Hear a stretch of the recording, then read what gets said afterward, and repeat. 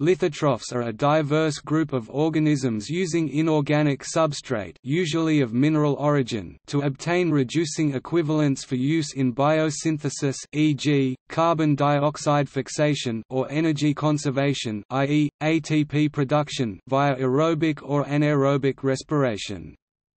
Known chemolithotrophs are exclusively microorganisms. No known macrofauna possesses the ability to use inorganic compounds as energy sources. Macrofauna and lithotrophs can form symbiotic relationships, in which case the lithotrophs are called prokaryotic symbionts. An example of this is chemolithotrophic bacteria in giant tube worms or plastids, which are organelles within plant cells that may have evolved from photolithotrophic cyanobacteria-like organisms. Lithotrophs belong to either the domain Bacteria or the domain Archaea. The term, lithotroph, was created from the Greek terms lithos rock and troph consumer, meaning, eaters of rock.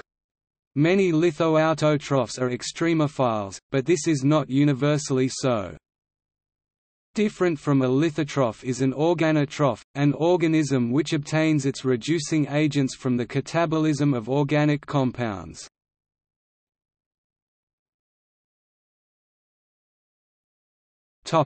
History The term was suggested in 1946 by Lwoff and collaborators.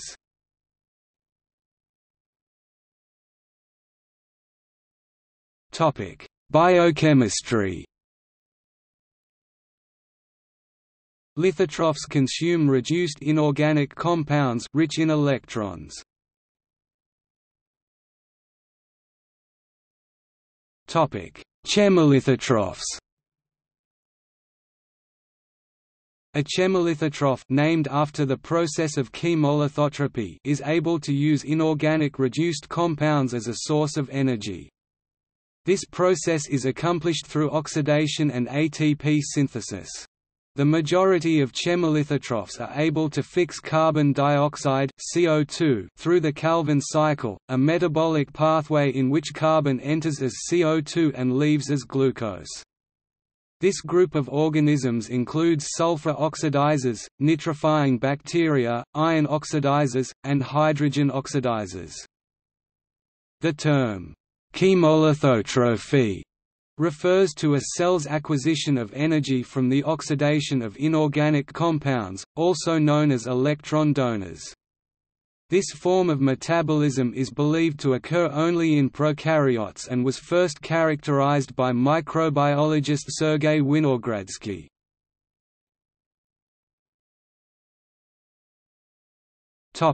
Habitat of chemolithotrophs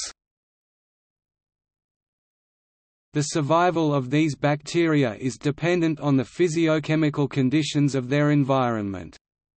Although they are sensitive to certain factors such as quality of inorganic substrate, they are able to thrive under some of the most inhospitable conditions in the world, such as temperatures above 110 degrees Celsius and below 2 picohenries. The most important requirement for chemolithotrophic life is an abundant source of rich inorganic compounds.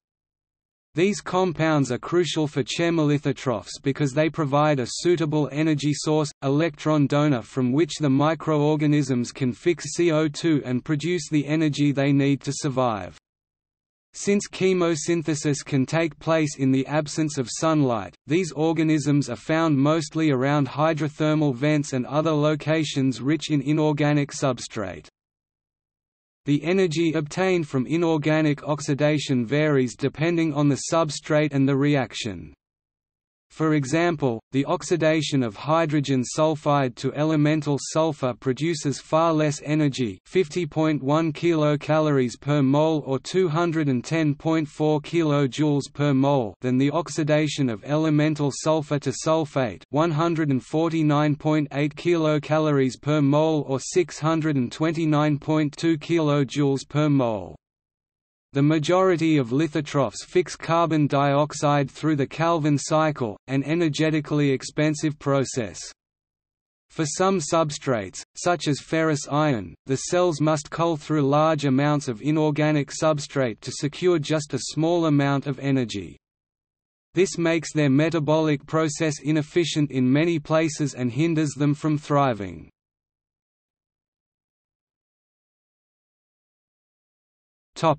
Overview of the metabolic process There is a fairly large variation in the types of inorganic substrates that these microorganisms can use to produce energy. Sulfur is one of many inorganic substrates that can be utilized in different reduced forms depending on the specific biochemical process that a lithotroph uses. The chemolithotrophs that are best documented are aerobic respirers, meaning that they use oxygen in their metabolic process. The high electronegativity of oxygen and resulting large energy gains makes it ideal for use as a terminal electron acceptor T. The list of these microorganisms that employ anaerobic respiration though is growing. At the heart of this metabolic process is an electron transport system that is similar to that of chemorganotrophs. The major difference between these two microorganisms is that chemolithotrophs directly provide electrons to the electron transport chain, while chemorganotrophs must generate their own cellular reducing power by oxidizing reduced organic compounds. Chemolithotrophs bypass this by obtaining their reducing power directly from the inorganic substrate or by the reverse electron transport reaction. Certain specialized chemolithotrophic bacteria utilize different derivatives of the SOX system, a central pathway specific to sulfur oxidation. This ancient and unique pathway illustrates the power that chemolithotrophs have evolved to utilize from inorganic substrates, such as sulfur. In chemolithotrophs, the compounds, the electron donors, are oxidized in the cell, and the electrons are channeled into respiratory chains, ultimately producing ATP. The electron acceptor can be oxygen in aerobic bacteria, but a variety of other electron acceptors, organic and inorganic, are also used by various species.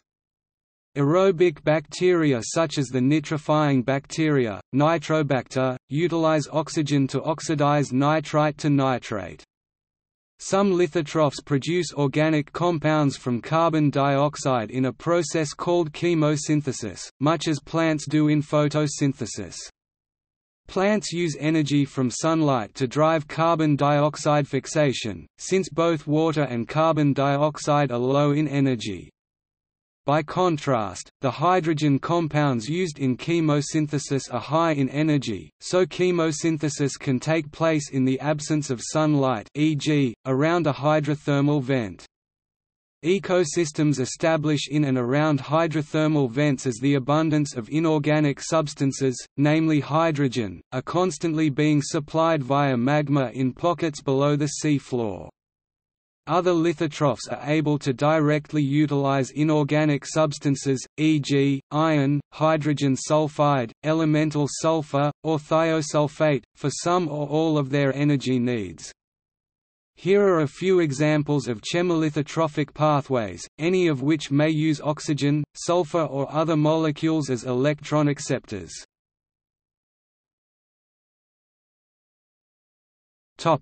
Photolithotrophs Photolithotrophs obtain energy from light and therefore use inorganic electron donors only to fuel biosynthetic reactions e.g., carbon dioxide fixation in lithoautotrophs.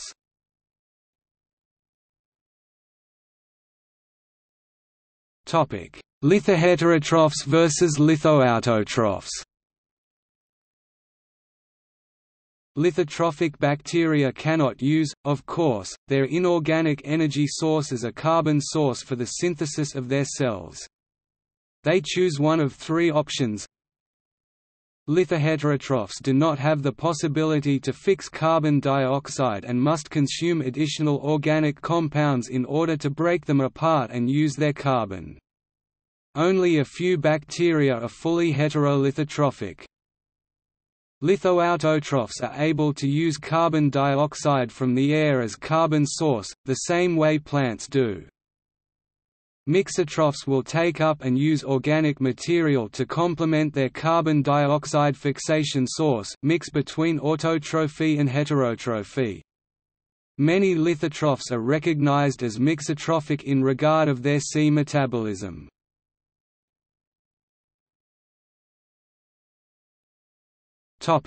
Chemolithotrophs versus photolithotrophs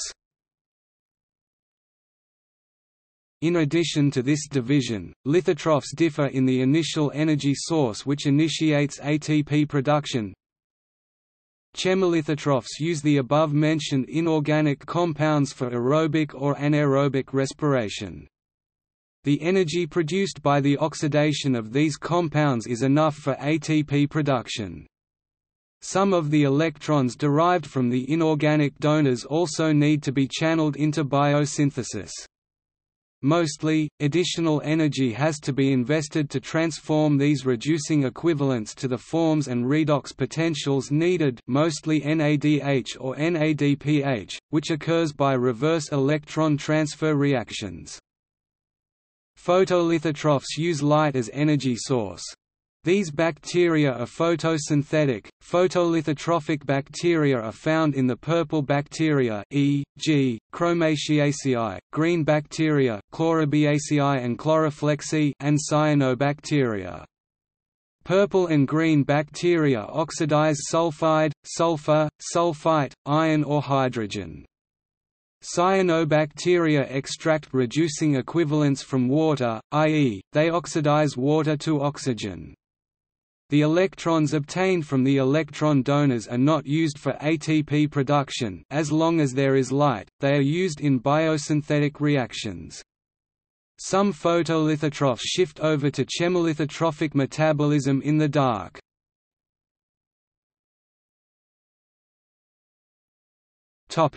Geological significance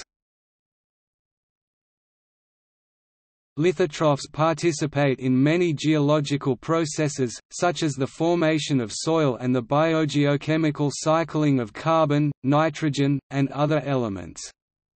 Lithotrophs also associate with the modern-day issue of acid mine drainage. Lithotrophs may be present in a variety of environments, including deep terrestrial subsurfaces, soils, mines, and in endolith communities.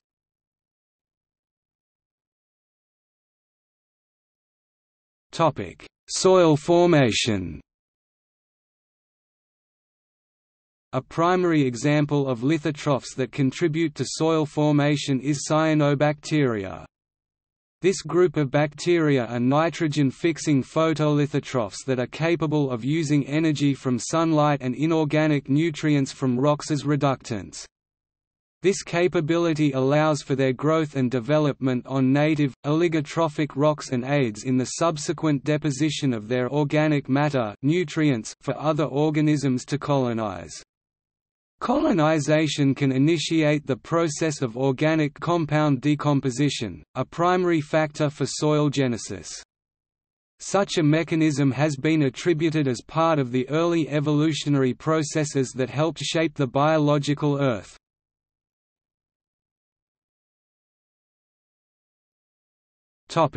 Biogeochemical cycling Biogeochemical cycling of elements is an essential component of lithotrophs within microbial environments.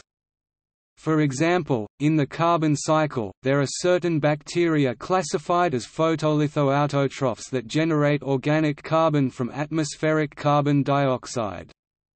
Certain chemolithotrophic bacteria can also produce organic carbon, some even in the absence of light. Similar to plants, these microbes provide a usable form of energy for organisms to consume. On the contrary, there are lithotrophs that have the ability to ferment, implying their ability to convert organic carbon into another usable form. Another example is the cycling of nitrogen. Many lithotrophic bacteria play a role in reducing inorganic nitrogen, nitrogen gas to organic nitrogen ammonium in a process called nitrogen fixation. Likewise, there are many lithotrophic bacteria that also convert ammonium into nitrogen gas in a process called denitrification. Carbon and nitrogen are important nutrients, essential for metabolic processes, and can sometimes be the limiting factor that affects organismal growth and development. Thus, lithotrophs are key players in both providing and removing these important resource.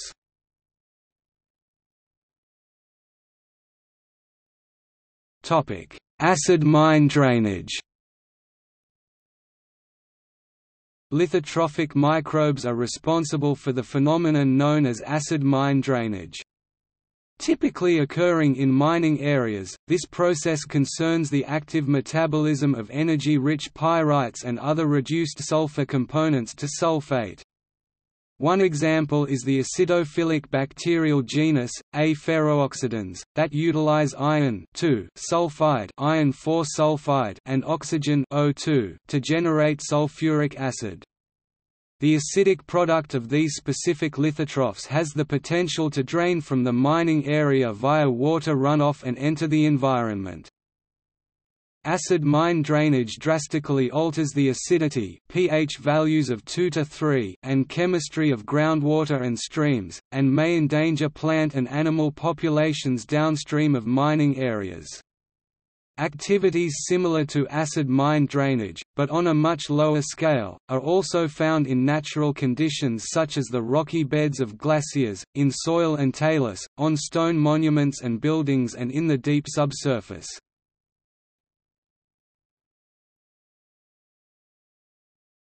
Topic: Astrobiology. It has been suggested that biominerals could be important indicators of extraterrestrial life and thus could play an important role in the search for past or present life on the planet Mars. Furthermore, organic components biosignatures that are often associated with biominerals are believed to play crucial roles in both prebiotic and biotic reactions. On January 24, 2014, NASA reported that current studies by the Curiosity and Opportunity rovers on Mars will now be searching for evidence of ancient life, including a biosphere based on autotrophic, chemotrophic and or chemolithotrophic microorganisms, as well as ancient water, including fluvio-lacustrine environments plains related to ancient rivers or lakes that may have been habitable. The search for evidence of habitability, taphonomy related to fossils, and organic carbon on the planet Mars is now a primary NASA objective.